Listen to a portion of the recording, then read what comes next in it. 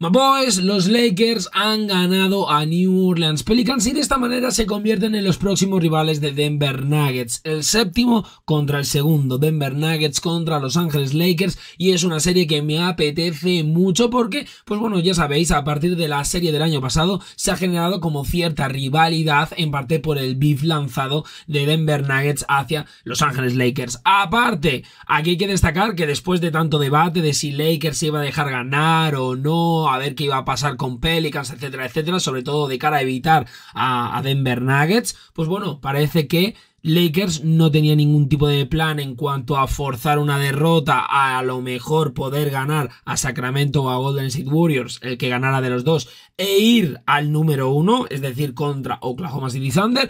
No ha sido así, los Lakers han ganado y como digo, son los nuevos rivales de Denver Nuggets. Shawty said she know me, she don't know me. Limousine riding, hold up in a Corvette, that's a perfect with the dying. She said she love me, but I Ahora sí, Maboys, se puede decir que después de una desastrosa derrota ante Los Ángeles Lakers para cerrar su temporada regular, los New Orleans Pelicans buscaron la redención en el partido inaugural del, del play-in de la NBA el martes y en lugar de la redención los Pelicans tuvieron un encuentro de alta intensidad que terminó en una derrota por 110-106 ante los Lakers después de un partido de 40 puntos por parte de Zion Williamson y su salida anticipada, que esto también hay que tenerlo en cuenta. Con la victoria, los Lakers se enfrentarán a los campeones defensores, los Denver Nuggets, el sábado en primera ronda de playoffs. Y aparte los Pelicans recibirán a Sacramento Kings, que vienen de ganar a Golden State Warriors y se enfrentarán a un encuentro a vida o muerte. El que gane será el rival de Oklahoma City Thunder y el que pierda se irá a casa. En cuanto al partido, LeBron muy bien, anotó 23 puntos, el máximo del equipo, además de 9 asistencias y 9 rebotes, se quedó a una asistencia y a un rebote del triple doble. Aparte, D'Angelo Russell anotó 21 puntos, añadió a sus stats 7 asistencias, también jugó un papel decisivo en la victoria, acertando 5 de 11 en triples y aparte, el ex Pelican Anthony Davis anotó 20 puntos, 15 rebotes, el máximo del partido, muy bien. Por el bando de los Pelicans, Zion, pues bueno, terminó con 40 puntos que lideraron a ambos equipos, tanto a Lakers como Pelicans, terminó con 11 rebotes, 5 asistencias y la mala noticia es que caminó hasta el vestuario en los últimos minutos del partido, con lo que el entrenador de los Pelicans, Willie Green, describió más tarde como dolor en la pierna izquierda y poquito más. Fue un partido intenso, fue un partido mucho más luchado que por ejemplo el último que vimos entre estos dos equipos, pero la realidad es que sí, Zion estuvo muy bien, pero ¿qué hay de los demás? Por ejemplo, por ejemplo, si McCollum 9 puntos en total. Brandon Ingram 11 puntos en total, quienes pues aparte parecían desanimados después de jugar su segundo partido después de perderse los 12 anteriores por una lesión en la rodilla. Al final, ah, pues bueno, es un partido en el que Sion brilló, pero las otras dos estrellas, las otras dos espadas ofensivas de Pelicans no brillaron especialmente. Aparte, los Pelicans redujeron eh, su déficit en el marcador de 18 puntos a 7 al iniciar el último cuarto, se encontraron con una chispa de energía a partir de ahí, se acercaron a Lakers con una racha de 9-0 que incluyó aparte un tapón de Zion sobre James que condujo a un triple de José Alvarado, pero bueno, finalmente después de mucha presión, de mucha intensidad, de mucha ida y vuelta, los Lakers se terminaron llevando el partido. Y ahora la pregunta es cómo les va a ir a Los Ángeles Lakers contra Denver Nuggets. Mucha gente opina o piensa realmente que, que, Denver es clarísimo favorito. Yo no lo tengo tan claro, de verdad os lo digo, creo que son claros favoritos, pero no lo tengo tan claro. ¿Por qué os digo esto? Al final esta es una victoria enérgica para los Lakers, evitaron la remontada de Pelicans en la segunda parte del partido para asegurar ese puesto número 7, avanzar y enfrentarse a Denver Nuggets y yo prefiero como equipo, por ejemplo, siendo Lakers, siendo Pelicans, en este caso uno de los dos que el que ganase pues se iba a enfrentar a Denver Nuggets, yo prefiero enfrentarme a Denver ahora que en unas finales de conferencia. ¿Por qué? Porque ahora es un equipo que se va a encontrar con ciertos problemas. En mayor o menor medida va a tener más problemas que cuando llega a finales de conferencia, donde ya pues ha corregido todos los problemas que se ha ido topando, con los que se ha ido topando a lo largo de los playoffs. Pero en primera ronda no estás tan carburado, no estás tan, tan trabajado en playoffs como en finales de conferencia, donde te juegas un título y ahí tienes que llegar 100% sin fisuras, sin fallos, sólido, al mil por mil. Entonces, si hay un momento en el que te tienes que enfrentar a Denver Nuggets, es ahora. Es ahora. Y me parece un planteamiento muy cobarde el hecho de esperar que otros hagan el trabajo sucio por ti. Es lo que es lo que es, es lo que os digo. Vuelvo a repetir, Los Ángeles Lakers son los underdogs en esta serie. Van a ingresar como los no favoritos. Obviamente los favoritos son Denver Nuggets, el desafío es obvio, pero aquí obviamente van a jugar un papel importante varios factores y a mí me ha parecido vergonzoso ver a algunos periodistas que supuestamente son fans de Lakers pedir que por favor los Lakers perdiesen contra Pelicans para evitar a Denver Nuggets. Es como, vamos a ver, si tú eres el mejor o piensas que eres el mejor, que vas a llegar a las finales, o por lo menos tienes esas esperanzas, piensas que pues, tu equipo es uno de los mejores equipos. Por lo tanto, tarde o temprano va a tener que pasar por encima de Denver Nuggets. Porque, vamos a ser claros, Denver contra Pelicans, ¿de verdad veis alguna posibilidad a Pelicans? Yo no lo veo. Yo no veo ninguna. Ninguna. Porque, aparte, Jonas Valanciunas va a frenar a Nikola Jokic. No lo creo. Zion Williamson, por cuerpo, por peso, puede ser, pero por estatura ni de lejos. Zion no puede parar, por ejemplo, a Nikola Jokic tampoco. Entonces, yo a Pelicans les daba por descartados, absolutamente. Y luego el enfrentamiento, el que salga ganador, por ejemplo, de esa serie que, por ejemplo, tiene Phoenix Suns con Kevin Durant, con Bradley Bill, pase el que pase. De verdad, por ejemplo, Phoenix Suns con Katie, con Bradley Bill, con Devin Booker.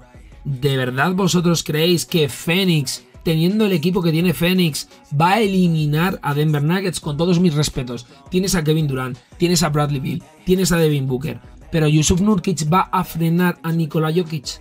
Que lo mismo digo de Lakers, ¿eh? Anthony Davis, vuelvo a repetir, no va a poder frenar a, a Nikola Jokic. No esperéis eso. Y si lo hace, si lo hace es Superman. O sea, si lo hace, es un superhéroe porque es algo que yo no me espero para nada en absoluto, por diferencia de peso, por diferencia de cuerpo, por absolutamente todo. Vuelvo a repetiros, las finales de conferencia de 2020 contra Denver Nuggets, los Lakers la ganan con un emparejamiento Jokic-Dwight Howard. Anthony Davis estaba con Jeremy Grant. Anthony Davis no está emparejado en ningún momento defensivamente hablando con Nikola Jokic. Tener en cuenta esto. Tener en cuenta esto. Porque es muy importante. Anthony Davis puede jugar de 5, pero es 4. Es 4. Y Jokic es 5. Jokic es para emparejarlo con Joel Embiid. Joel Embiid no es para emparejarlo, por ejemplo, con Anthony Davis, o mejor dicho, Anthony Davis con Joel Embiid. Que puedes emparejarlo perfectamente, también puedes emparejar a LeBron James con Nikola Jokic, pero luego a ver cómo te va. Porque la diferencia de peso, la diferencia de estatura, etcétera, etcétera, ahí luego ya creo que me he explicado perfectamente bien. Entonces, lo que os digo, si Anthony Davis puede parar a Nikola Jokic, perfecto, pero otro de los factores importantes es LeBron James y el descanso de LeBron James.